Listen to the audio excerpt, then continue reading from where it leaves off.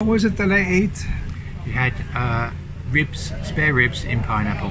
In pineapple, yeah. It's uh, my chef's speciality dish. She uh, very proud of.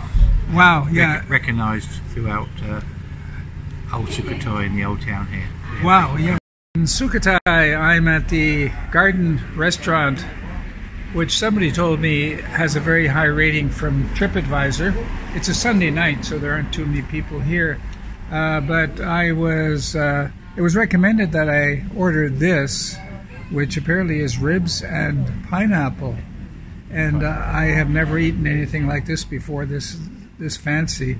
My meal is usually rice and maybe some chicken, but this is amazing. And your name is? Graham Hunt. And uh, Mr. Hunt, you are from Great Britain. I'm from Great Britain. I'm from London. You're, and you are the part owner of this restaurant. Yeah, there's two of us. There's a, a, a Thai person and a UK person, and I'm the UK person. And would the Thai person be Yeah. The Thai person is over there. Say hello. This this uh, super friendly lady who I have seen in walking through this town, she's out there really friendly, grabbing customers as they walk by. I've noticed her, so You're viewing Travels with Lobo, Thailand from the North, vlog number 24 from Sukhothai, ancient capital city of the Sukhothai Kingdom. In Old Sukhothai, I was fortunate enough to meet the part owner of the historical garden restaurant, Mr. Graham Hunt. I say part owner because you need to have a Thai partner, as you will see, and much, much more. It's actually called the Historical Garden Restaurant because it's right next to the Sukhothai Historical Park, which I highlighted in vlog number 22. In vlog number 23, Old Sukhothai Street View, I cycled right by the restaurant. I didn't know it at the time because I hadn't done this interview.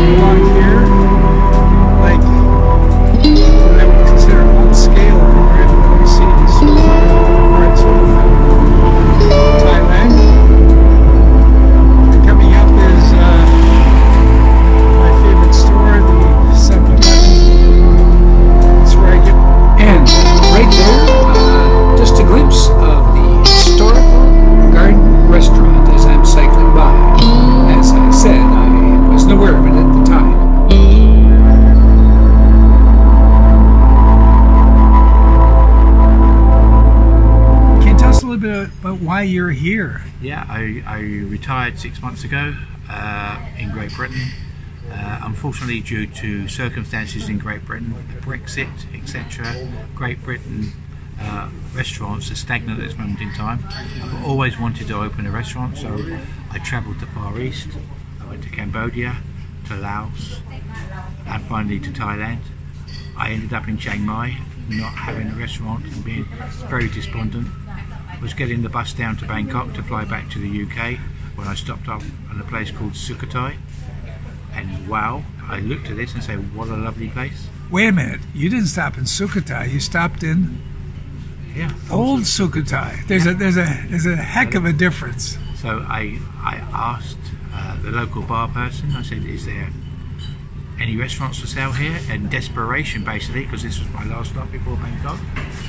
And they actually said, no, there's an empty garage up the road. So this used to be an empty garage. Empty garage for two years. Yes, that's right. So they actually said, I said, could I make it into a restaurant? And they said, well, we need to go and see the government people that day. So I went off with the owner to the government people. I said, I'd like to convert this garage into a restaurant. What do I need to do? And they got a big rubber stamp out and stamped it on a piece of paper and said, it's now a restaurant. It, it was that quick. That quick, no planning permission, nothing else. Right. The only stipulation was that they would come back in five or six weeks and, and, and ensure that it was actually being used as a restaurant. As a restaurant. All local labour, Uh huh. quotes, uh, I employ local staff, and within four to five weeks, uh, we transformed the restaurant from a derelict garage into uh, a restaurant opposite the historical park, which gives us a beautiful view. Right, the historical park is just uh, behind us here. Yes, yes. As part steep learning curve, Steep learning curve. uh, especially understanding Thai, Thai culture. You know, Uh, we could spend the rest of the evening talking about Thai, Thai culture, but we, we, it's, we won't. It's, it's, it's extraordinary, but Yes. I, I'm, I'm very glad to be here. The Thai people are very nice to me, Yes, yes. uh, hopefully this is going to be a, a very successful restaurant. Right. That one big part of the story, you know, like you make it sound like you came here and it's your restaurant, but there are laws here that say. Tell us about that. Well, it's, it's two things. You, you, you cannot own piece of land in Thailand. Right. So Uh, uh, a Falang can't. a Uh, Farang can't own, a piece of land in Thailand. yes. And you cannot own a business, full, a full business in, in Thailand. Right. You have to have a partner. Right. and that partner has to be 51% Thai, and you can be 49% Farang. So, Right, right. With, with, with that in mind, uh, I, I found a business partner. As I, am- I only intend to spend six months a year here because I'm a cricket fanatic in the UK. You are a cricket fanatic. So I'm going back. It's like U- watching paint dry. Yeah, so I'm going back for cricket during the cricket season for six months, Wow. and then and then coming back to Thailand for six months in bet- after the cricket season finishes. That's a that's a good life. So just the old city. It's called Muang Kao, Old Sukhothai. that's so, a major correction. yeah. Yes. so, okay. so, so the so the locals call this Muang Kao as opposed to New Sukhothai, which is such a nice town further north. no, it's terrible. Yeah. Yeah. But here, here you have a historical site, a beautiful historical site. Well, many sites to be honest, and it reminds you, reminds me of uh, what old Siam I, I pictured it could be Exactly. many many years ago. And you said you associated a film with it, as did yeah, I. I, I, I, as soon as I came here and they mentioned it was the old Siam, I, I automatically thought of the Yul Brynner film, the, the, the King. The King and I, yeah, yeah. so- but other aspects of this place is it's a beautiful scenic town. The people are so friendly. The locals are so welcoming to me. Yes. I am the only Farang restaurant owner in the whole town That's amazing. and everybody is, is so nice. Uh, we go to the local market in the morning, every morning to get fresh produce for the restaurant, Right. and they play music, and I pretend that I dance, and I have all the ladies in the local market. We all dance together, and they wait for the farang to turn up in the morning. They put some music on, and I pretend I'm dancing, and all the ladies jump up, and we all dance together. Ah, that's and, wonderful. And come back. No wonder you like it here. Yeah, yeah. Thank you very much. You. All, all the best to you. Cheers. This interview was recorded December 2019, just before COVID struck. So the question arises did the restaurant survive these terrible, terrible times?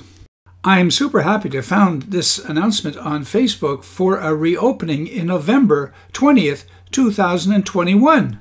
The 20th of November, so there's hope there, but then there's also Omicron. In any case, kudos to Graham Hunt for having pulled this whole thing off and keeping it going. Good luck. Since this is my last vlog from uh, Old Sukhothai, I'd like to add a personal memory which is very important to me. I kind of arrived in Old Sukhothai kamikaze style. I couldn't get a reservation, but I said, "What the heck? I'll go anyway. Surely I find a I'll find a hotel." Well, I didn't find a hotel. It was only with the dogged, dogged effort of my taxi driver who took me from Sukhothai to Old Sukhothai, who repeatedly tried to find me a place, and finally found me a room above a store. Just me above a store. I, it was wonderful. But anyway, thank you very much to the taxi driver.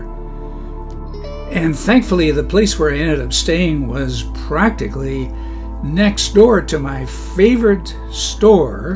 That would be the 7 Eleven coming up right there. Look at that. The beautiful 7 Eleven right next to me. And just now, we're coming upon the store. Right, right, right. Uh, well, let's see. There's a side of the store coming up right there.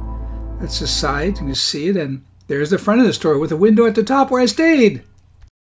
Unknown to me, there was a national computer competition among high school students that took place in Sukhothai that weekend, and I could not get a room. and, and here for my final clip, a little chat with some of the high school students. Here on this beautiful, beautiful evening on this beautiful lake in Sukhothai. Hello! I ran into three young ladies from Chiang Rai, Chiang Rai, Chiang Rai. in northern Thailand, right? And what's your name? Um, my name is Bai Fern And your name? Pan And your name? Nam Ni. Okay. And you tell me that you love. Love. Yes. you love you love English. Yeah. And uh, I know I've traveled uh, for weeks in Thailand, and you're the first group that I've talked to that you know really speaks a little bit of English and that loves English, and I'm I'm very happy about that. So I want you to check my YouTube channel, Travels with Lobo, right? Okay, Okay. and uh, we'll have you we'll have you in the Sukhu, Sukhothai. Secret Sukhothai vlog, right? Pleasure talking to you, okay? Bye. Bye. Bye. One more time, thank you for viewing. I hope you enjoyed this last vlog from Old Sukhothai. Join me next Friday as I move on to another royal kingdom. This time it's Ayutthaya. Ayutthaya. Ayutthaya. Does that mean anything to you? You will learn something new as I did.